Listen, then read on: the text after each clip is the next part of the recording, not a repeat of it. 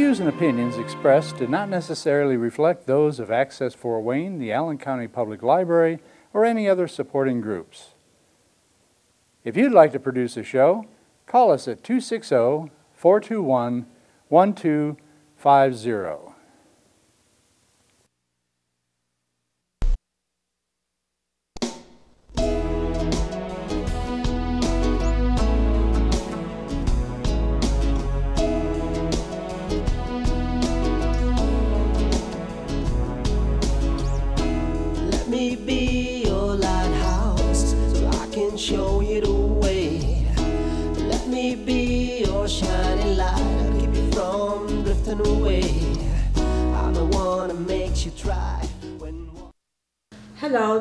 Patty Hunter of Patty's Page.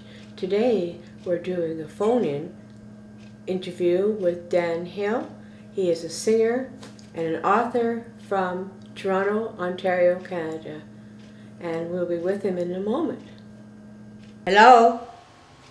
Hello, is this Patty? Yes, it is. Who's this? Hi, this is Dan Hill. Hello, Dan Hill. How are you, doll? Good, how are you doing? I'm doing great. I'm glad you phoned. Well, I'm happy to talk to you. Ah, I'm- I'm glad. Uh, it's good to talk, hear your voice. It's been a long time since I've been in Canada, listening to your songs and all. Going to see you. Oh my goodness. We've been in here. Yeah, must, Yeah. must, must bring back some memories for you. Oh, I, yeah, you do, kiddo. oh my goodness. We've been here in the United States for 23 years. Long time. Wow. Yes, a really long time. Yeah. Um, so I have uh, questions for you, my friend. Okay. Okay. Uh, where were you born and raised? I was born and raised in Toronto, Canada. Same here. Can you hear me? Yeah, I was born in Toronto as well. Oh. And your parents, were they musically inclined as well? Yes, they were. So that's how you got your uh, your uh, enthusiasm for music and for singing, right? Yeah, that's very true. So uh, what kind of music were they into? They loved jazz. They loved Frank Sinatra. Frank Sinatra, yeah.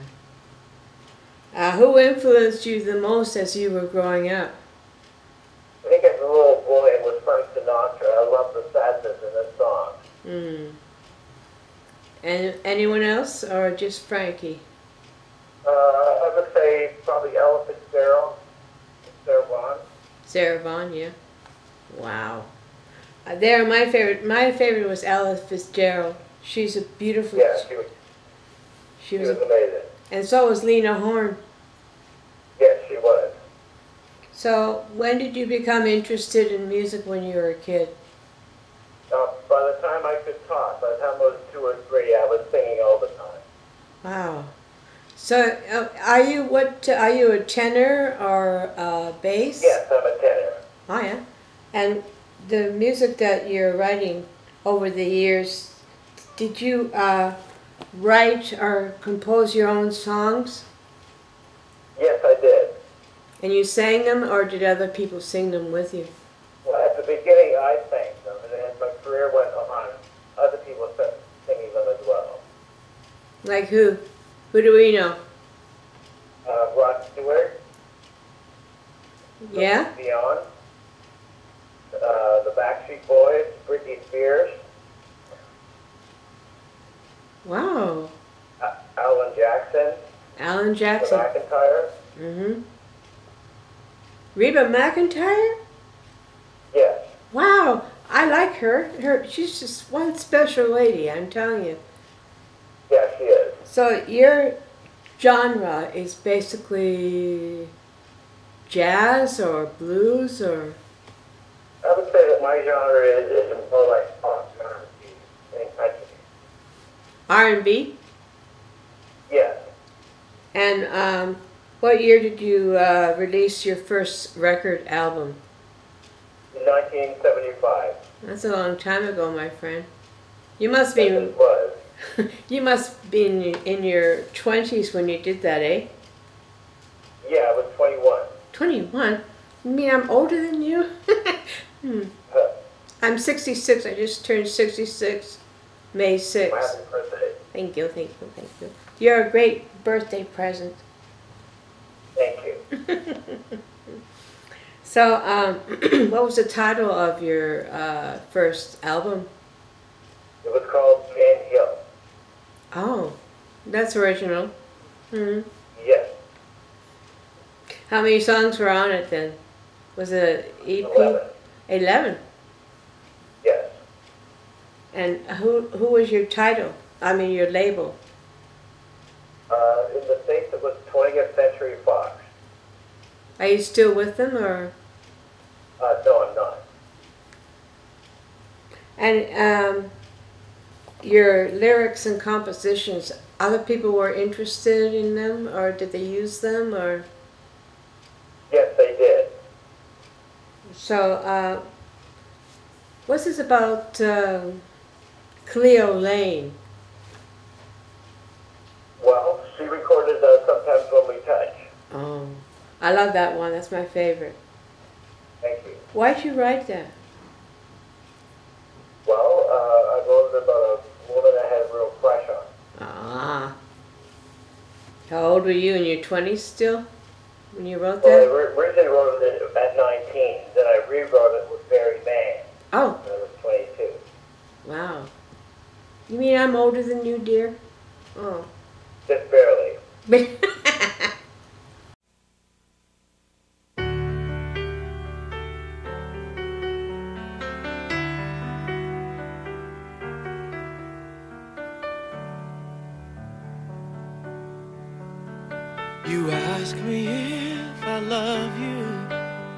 and I choke on my reply. I'd rather hurt you honestly than mislead you with a lie. And who am I to judge you on what you say or do? I'm only just beginning to see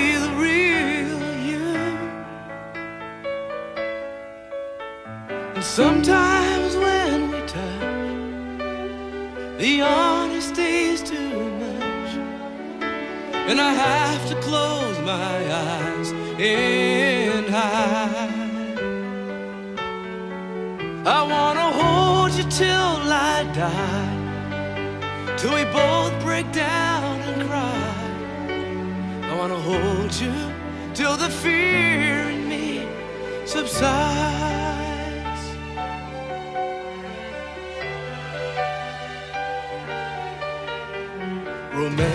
And all its strategy leaves me battling with my pride. But through the insecurity, some tenderness survives. I'm just another writer, still trapped within my truth. A hesitant prize fighter, still trapped within my youth.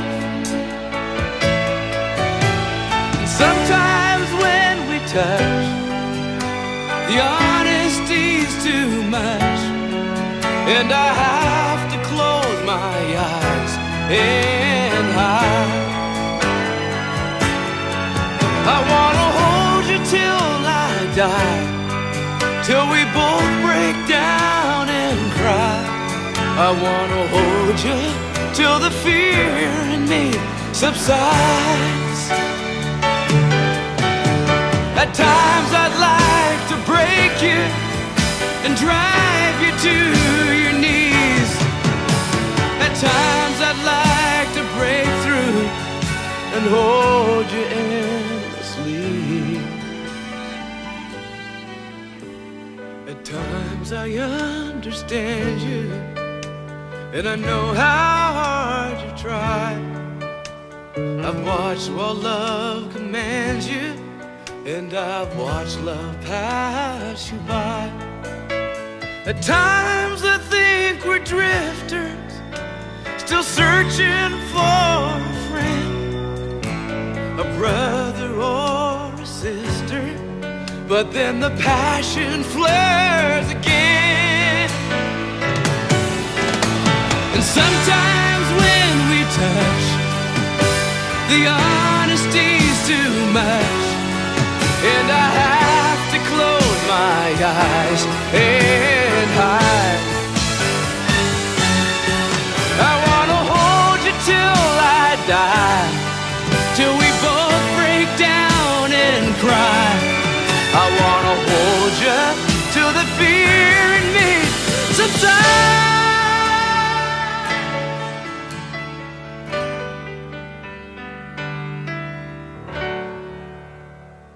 Have you? Who have you collaborated with over the years? Like, uh, like you said, Rod Stewart and Celine Dion. Well, uh, great writers like Michael Nestor, Mm-hmm. Jerry Mann, Jerry Mann, yeah. David Foster. David Foster. Yes, He's a toughie to get a hold of. yeah, he is. I bet he's really Bill, big. uh, Bill, Bill Conti, he was a big film composer. Yeah, yeah. So you, um, do you, how many have, uh, how many albums have you released since your first year? Uh, 13. Thirteen. Oh, that's a lucky number. Yeah. And do they have themes going through each album? Like uh, you have one idea and then you put it into several different songs. Well, usually they have really strong stories. The theme Yeah. stories. That's what I mean. Yes. I write poetry, so I start off. It's like a book, really. That's great. So, and I write lyrics too. I have other people sing. I had Pat Patricia Conroy sing one of my songs. Wonderful. Yeah, she's okay. I like her. Have you been singing that song uh, sometimes when we touch yourself a lot, or Yes, I usually sing it at my concerts. how many concerts have you gone so far? How- Like, like is it three quarters of a year you go out and do your thing, or Yeah, I'd say about half the year. yeah? Do you have kids? I have one son, Ah, grandkids? uh, one grandson. Oh, one each. Yeah. Well, oh, they must be getting up in years. Oh, yeah. oh, you're lucky that you are blessed to have kids. Yes. Yes, I am. And was sometimes when we touch, was that your greatest hit, or did you have another one come out? I have other hits. Can't we try just a little bit harder than the big hit in America? Yeah. And uh, I do cherish you as a big hit from 98 Degrees. Thank you. Wow. You have been around, haven't you, kid? Yeah. And um, Harry Belafonte, how much was he in your life influencing you? Well, I, I really loved him as a child.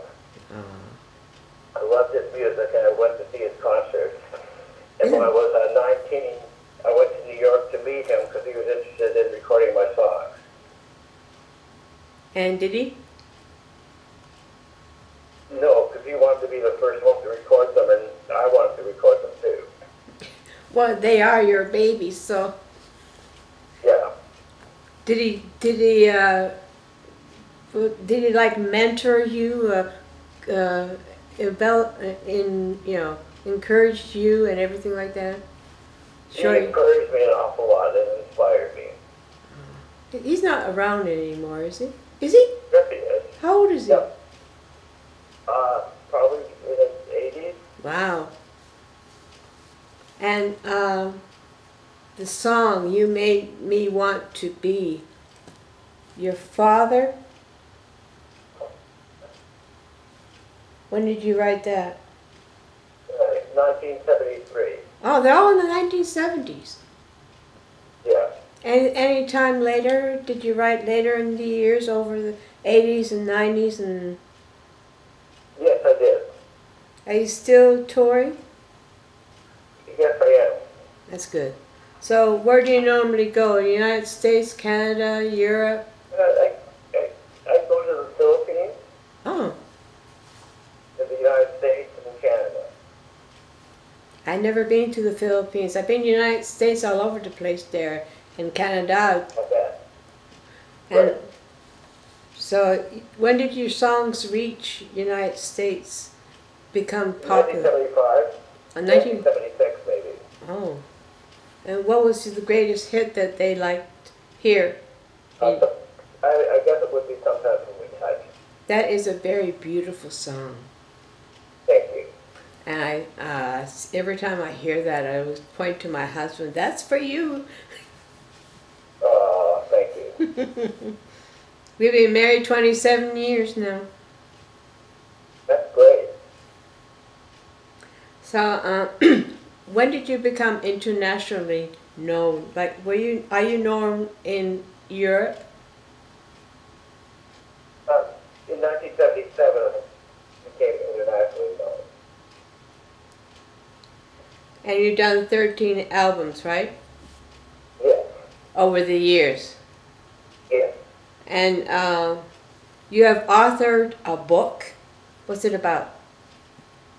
That's a story about my life and growing up with, with my family. And that that's a good. That was a good uh, growing up. You had a good life. Yeah. Um, do you also write articles? Yes, I did. Like what? Well, uh, I read about certain current issues. I read about pop music. I read about boxing. Boxing. Yes, Manny Pacquiao is a famous boxer. Recorded one of my songs. Oh. Are you into sports? I'm into running. Do you volunteer anywhere in causes or I events? do it's fun. You do at times? That's good. So, um, what can we ask what you, who you helped and how we can also help as well, these people? Uh, sure. Well, sometimes I do things for related things for schools in rural income areas, Oh, yeah. but they can have more money to buy resources for the kids that come from low income areas. Do you, um, do you help a lot of homeless up in Toronto? I've done concerts for them. I raise money for them. I am with Track Three Rivers Art Center for Kids. That is, that's what we, we are people of the arts who bring awareness of child abuse here in Fort Wayne area. And we put on events every year to bring the community together. That's wonderful. Do you do it, stuff like that too as well? Yes. I'm glad. So, um, what are your current uh, musical projects? I'm writing some songs about my mother and my family. What would you like to share with my audience to encourage them Remember about to be true to yourself and always be creative. always be creative? Yes. Be true to yourself? Oh, that's great. I tried to do that too. Uh, when did you, how old were you when you first started to write and compose? 14. Wow. That's young. I started in my 30s. A little late. Good for you. A little late, you know. Do you, would you ever like, for your time. would you ever like to come down here to Fort Wayne area? Oh, yeah, sure. Okay, it'd be great to see you if you do come down. You're more than welcome. Good. So, I'll let you know. okay, though. Thank you so much for phoning in. It's going on towards the end of the show. Thank you so much. Thank you, Dan. Very kind. I know. We love you, man. My pleasure. Love you. Bye. Bye. I am my father's son is a comes from a song I wrote. It's the last song I played my father about my my father and me and our relationship before he fell into his final coma.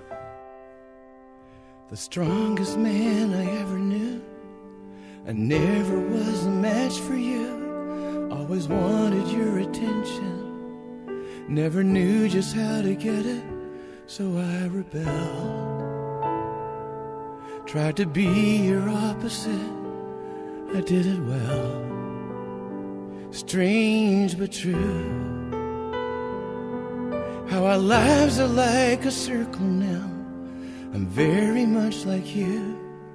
You were my unsolved mystery, always barely out of reach. At baseball games when parents came, you were always missing.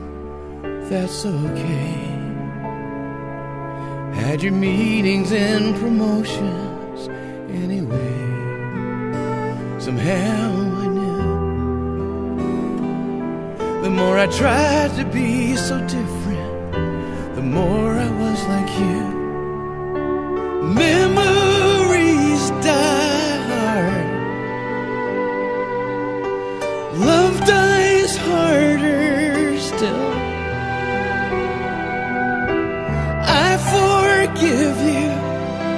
have no choice. When all is said and done, I am my father's son. The first time that I saw you cry was the morning that your daddy died. I stood there in amazement as you packed up your suitcase. I heard you say, Son, I need you here to get me through the day. And through your tears, saw the boy inside the man, and it was suddenly so clear. Memories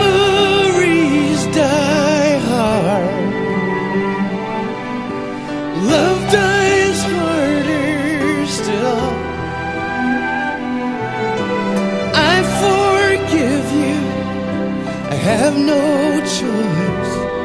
Cause when all is said and done, I am my father's son.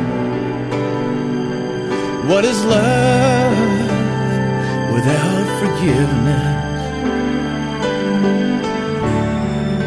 When all is said and done, you did the best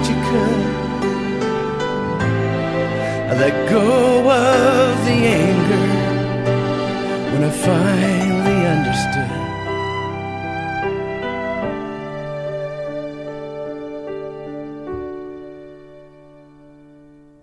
Memories